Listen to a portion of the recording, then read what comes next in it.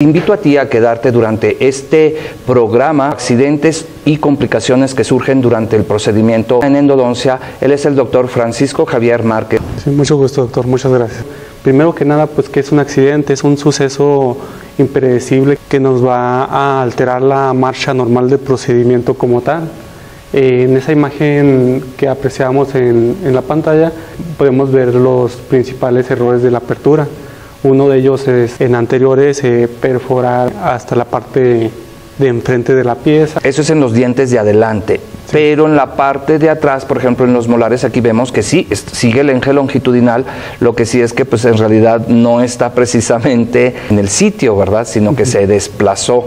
Sí, como esa pieza se, se divide en, en, ambas, en varias raíces, puede procederse a, a perforar en lo que viene siendo un área que se llama furca. Estos errores comúnmente suceden cuando hay falta de experiencia, no hay conocimiento de la morfología de la pieza, tanto externa como interna, conocer cuántos conductos tiene la pieza, ver el eje longitudinal de la pieza antes de un procedimiento que se llama aislamiento y no revisar en radiografía cómo está la posición de la pieza, qué tan calcificados están los conductos, qué tan abajo está el conducto, qué tan larga está la pieza o qué tan corta está la pieza. La imagen E eh, ahí se observa que hay una corona.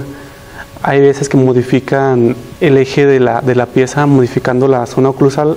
Hay ocasiones que se les dice por fuera la ves de, una forma porque tratan de compensar, ¿verdad? Y entonces tú por fuera la ves como con una anatomía, una forma y a la hora de hacer el acceso, pues resulta que la parte de abajo es diferente, ¿verdad? Sí, no coincide con, la, con lo que viene siendo la corona. Hay veces que nosotros le llamamos piezas mesializadas, pero se podría decir como que la pieza está un poco costada y le modifican la, la parte de arriba.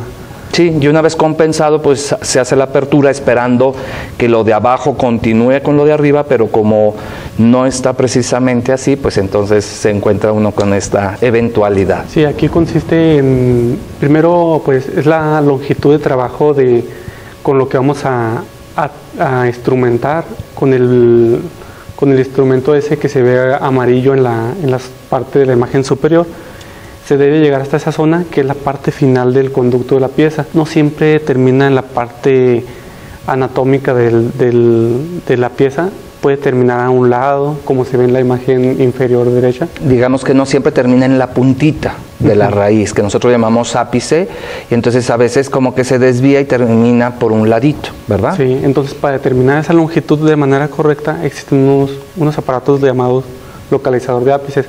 En radiografía aparentemente va, va, a verse como si estuviera corto, pero realmente vamos a estar dentro de, de, del margen del CDC que significa conducto, dentina, cemento. Es la unión de, esa parte de, esos dos tejidos. Donde se une la dentina con el cemento y es el límite entre esos dos tejidos y es precisamente hasta donde nosotros debemos de trabajar, instrumentar y desinfectar, irrigar para poder hacer un tratamiento de endodoncia. ¿verdad? Sí, exactamente. Aquí observamos unas imágenes en las que se ve una obturación fuera de, de, la pieza. Es sobre instrumentación. Sobre instrumentación es cuando excedes el límite o te pasas más allá del CDC. Sí. Y entonces puede ser un milímetro, medio, dos, tres, cuatro, pero conforme se va uno alejando, pues quiere decir que no tienes idea a veces de la longitud de trabajo, o sea, de la, de la longitud que tiene tu raíz, y pues no puedes trabajar, no es conveniente trabajar más allá de la longitud real y debe permanecer uno dentro del conducto, ¿verdad? Sí, de, de esa manera, pues como consecuencia de la instrumentación, sobreinstrumentación, va a haber la consecuencia de una sobreobturación, porque no va a haber un tope donde se tenga lo, lo que vamos a rellenar. Que hay consecuencias pues en el periodonto ya como tal, se va a inflamar todo el periodonto, hay veces que son consecuencias ya irreversibles que en ocasiones ya no tiene remedio o existe un procedimiento llamado apicectomía que todavía puede solucionar en algunos casos este problema en el, en el canal. Y bueno, si ustedes me siguen a través de Clínica de Ortodoncia Avanzada en YouTube, podrán ver esta técnica de apicectomía que consiste en abrir una ventana, una ventana de acceso y cortar, digamos, la punta de la raíz. Se puede hacer de forma natural o con microcirugía, ahora que está en boga el uso, el empleo del microscopio en odontología.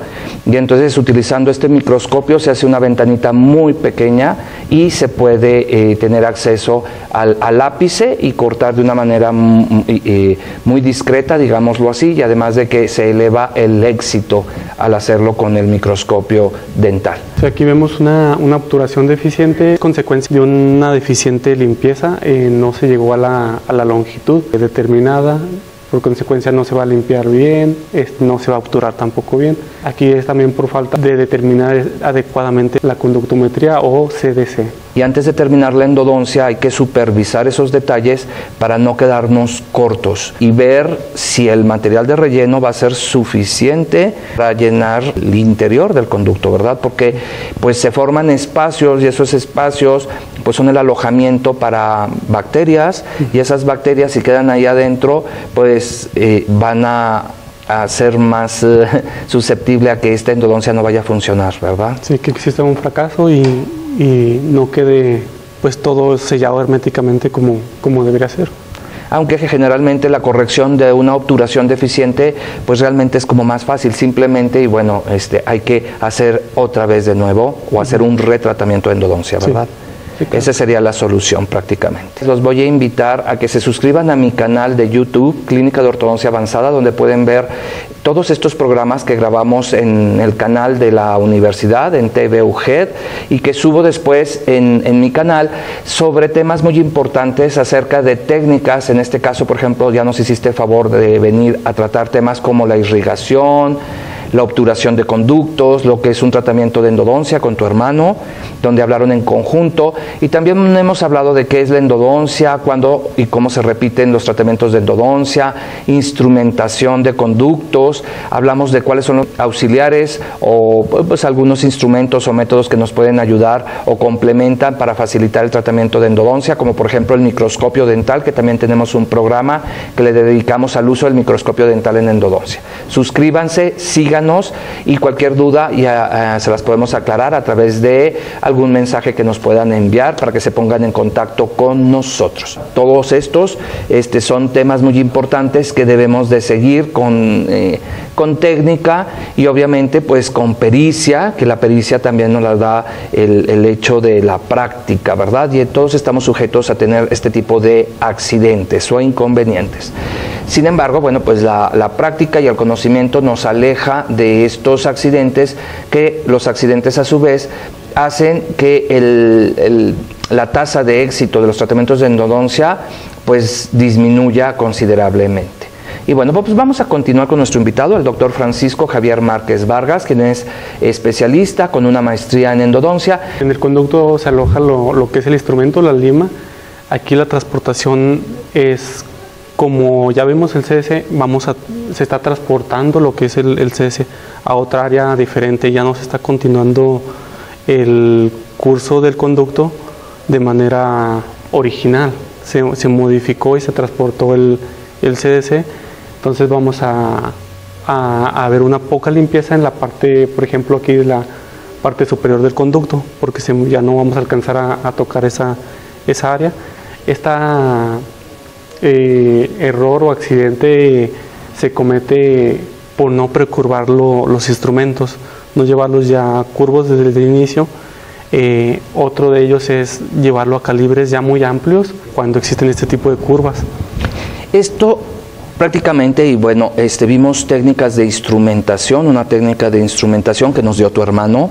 Y en estas técnicas de instrumentación con limas eh, oscilatorias o eh, giratorias o que son básicamente de, níquel titanio, que son flexibles y que tienen resiliencia. Y esta característica hace que se doble solo y evitan este error, ¿verdad?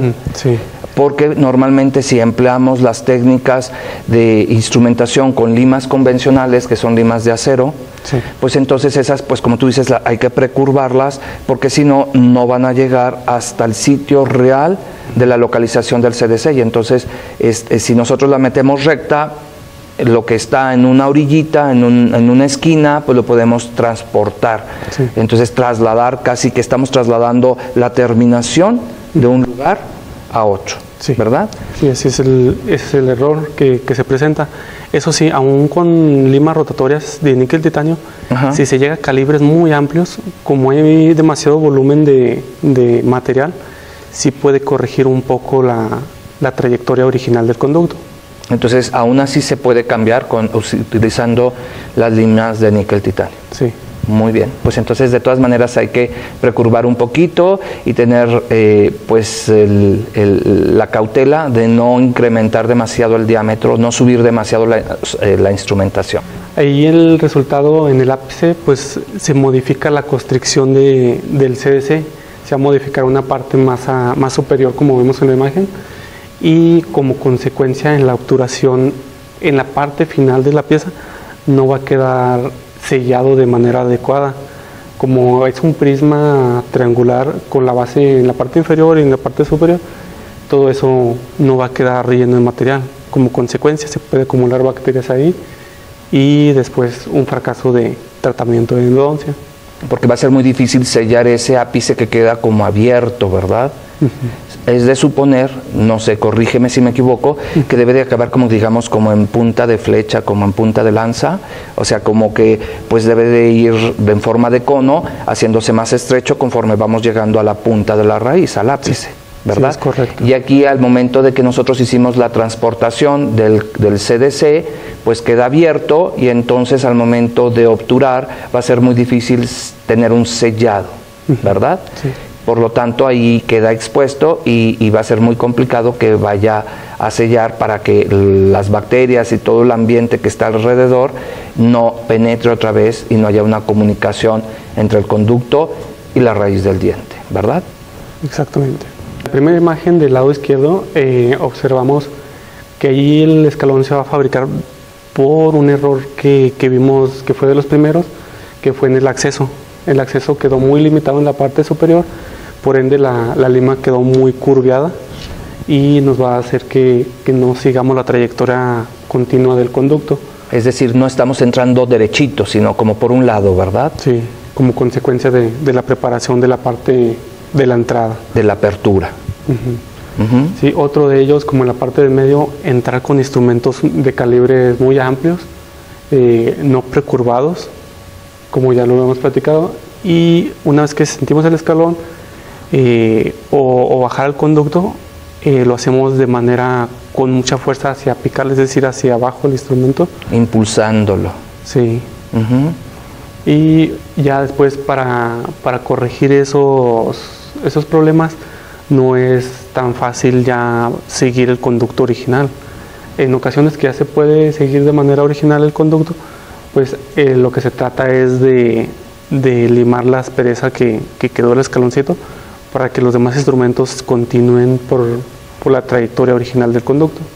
Sí, y el resultado final, sobre todo la obturación, que pueda pasar y llegar hasta el final, porque al formarse ese escalón, pues ahí eh, de repente se atora y ya no llega, digamos, a la punta, ¿verdad? Sí, ya no se va a limpiar y por consecuencia se va a obturar de manera deficiente. Ahí es cuando ya se logró sobrepasar el escalón con una lima de menor calibre y precurvada previamente ahí ya se corrigió el error. Se corrigió el error.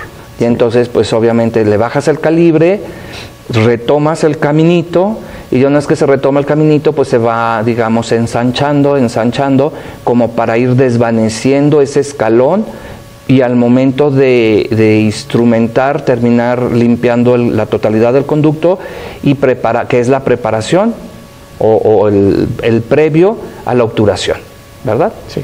Así es. Aquí ya es en perforación, pero a partir de la, parte de la raíz de la pieza, ya puede ser con limas. Eh, va a afectar directamente lo que viene siendo el, el periodonto. Eh, por ejemplo, vemos en la imagen de, la parte central que no, se accede por donde es la, área correcta del conducto.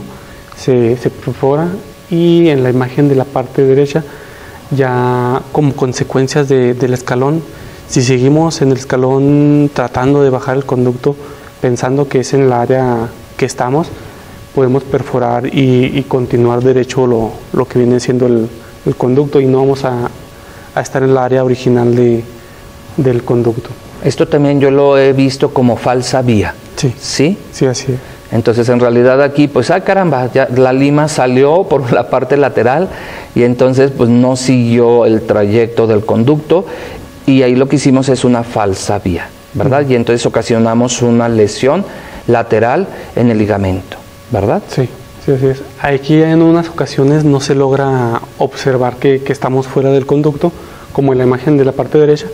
Si tomamos la radiografía de otro ángulo, puede observarse como que aparentemente estamos dentro del conducto cuando no, no es así. En una tomografía se vería fuera es que es engañoso y a veces las radiografías como tienen dos dimensiones, pues entonces a la vista puede parecer que todo está bien y es ahí donde este, se nos escapan a veces ciertos detalles, sobre todo cuando hay curvaturas naturales en las raíces de los dientes. Sí, aquí la fractura de instrumentos es por una, una mala permeabilización del conducto, es decir, que previamente a un instrumento rotatorio tenemos que instrumentar con, de manera manual con eso estudiamos cómo está la morfología original de la pieza y elegimos adecuadamente cuál es el instrumento rotatorio adecuado para el, tratamiento. Otra de las cosas que debemos de observar es que cuando abrimos un instrumento nuevo o, o se haya esterilizado, tenemos que supervisar que esté de manera correcta, que no tenga alguna imperfección el, el material y que nos vaya a quedar como consecuencia una fractura o una separación de instrumento.